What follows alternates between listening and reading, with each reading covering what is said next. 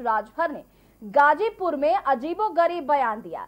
सुभाषपा के राष्ट्रीय अध्यक्ष ओम प्रकाश राजभर ने अपने कार्यकर्ताओं को संबोधित करते हुए कहा कि सदन में 90 फ़ीसदी पागल बैठे हैं और अपने बिगड़े बोल और विवादित बयानों के दम पर चर्चा में रहने वाले ओम प्रकाश राजभर गाजीपुर के चंदनबाहा इलाका में कार्यकर्ता सम्मेलन को संबोधित कर रहे थे। सुभाषपा के इस कार्यकर्ता सम्मेलन में जहाँ सोशल डिस्टेंसिंग के नियमों की जमकर धज्जियाँ उड़ाई गईं तो वहीं कार्यकर्ताओं को संबोधित करते हुए राजभर ने बीजेपी को भारतीय झूठ पार्टी बताया।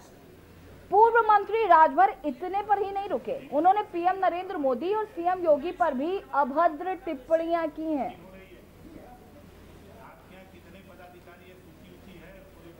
बता दें कि ओम प्रकाश राजभर ने सदन में बैठे 90 फ़ीसदी लोगों को पागल करार किया है। और तस्वीरों में भी आप देख सकते हैं कि यहाँ पर सोशल डिस्टेंसिंग की किस तरीके से धज्जियाँ उड़ाई जा रही हैं। चेहरे पर किसी के मास्क नहीं है।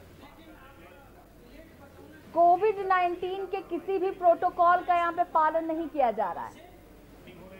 और फिर बयानबाजी भी की जा रही है कि सदन के 90 फ़ीसदी लोगों को पागल बता दिया और इतने में ही नहीं रुके, पीएम मोदी और सीएम योगी के ऊपर भी अभद्र टिप्पणियाँ की हैं। अभी पूरे उत्तर प्रदेश में, उत्तर प्रदेश के मुख्यमंत्री योगी आदित्यनाथ जी का बयान है कि पाँच साल संविदा पे छह साल में टेस्ट होगा साठ परसेंट अंक, उसके बाद तब सरकारी नौकरी ये मुख्यमंत्री का बयान आता है। वो नहीं डिप्टी सीएम का बयान आया है।